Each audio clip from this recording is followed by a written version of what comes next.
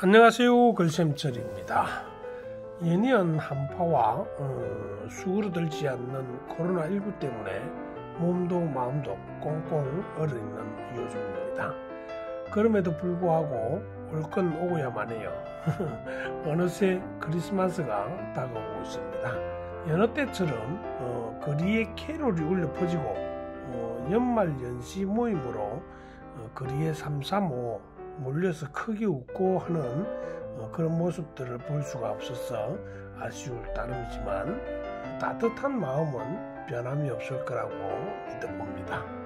저도 여러분들에게 마음으로나마 따뜻함을 선물합니다. 미리 크리스마스. 자 오늘은 글쌤 처리 공부방 아홉 번째 순서로 꽃피워봐 참 좋아입니다. 자, 앞에서 꽃 글자에 대해서 설명을 해드렸는데 설명한 그대로입니다. 어, 꽃잎이 있고 어, 꽃대가 있고 땅과 뿌리를 연상케 하는 꽃. 이 글씨는 각가지에서 드로그와 테크닉이 어우러져 있어 어, 글씨 연습하기 아주 좋은 그런 글씨인데요. 우선 쌍기역을 살펴보면 시작에서는 3번 스트로크로 시작을 해서 마무리는 10번 스트로크로 어, 했습니다. 자, 앞에서 말씀드린 3번 스트로크는 밀면서 놓는 스트로크죠.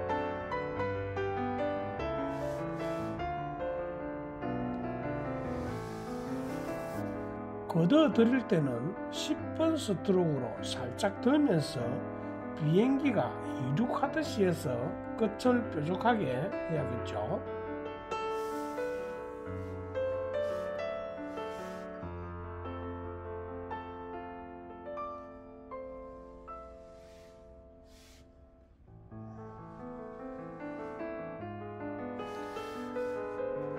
자, 쌍기역을 그렇게 쓰고 나면 옷자를 쓸 때는 이륙했던 비행기가 내려옵니다.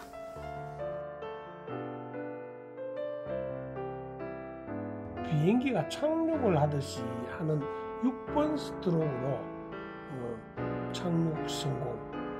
어, 그 다음은 어, 가로선을 그어줄 텐데요.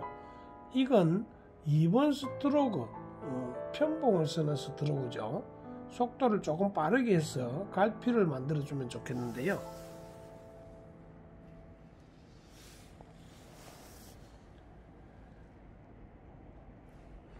자, 그 다음에 치어선 어, 뿌리가 되겠죠. 어, 4번 스트로크로 가늘고 길게 뽑아주면 좋겠네요.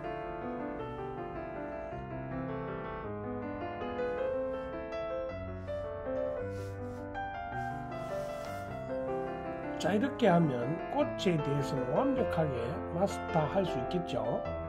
자 꽃에 대해서 두 번을 말씀드렸으니까 다음엔 어렵다고 하기 없기에요. 자 그럼 저도 따라서 볼게요. 꽃 피워봐 참 좋아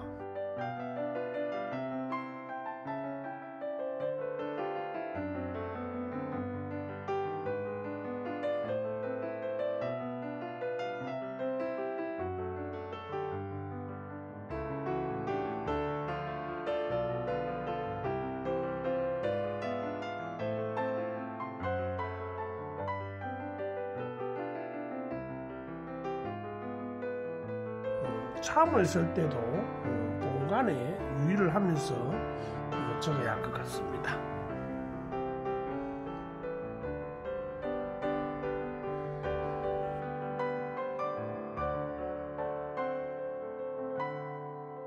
자 오늘 또 도움 되셨습니까? 어, 교재를 원하시는 분들은 아래 설명란에 보시면 상세 설명을 올려놨으니까요 참고하시고요 자 연말 마무리 잘 하시고 저는 다음 주 화요일에 또 변함없이 찾아뵙도록 하겠습니다. 감사합니다.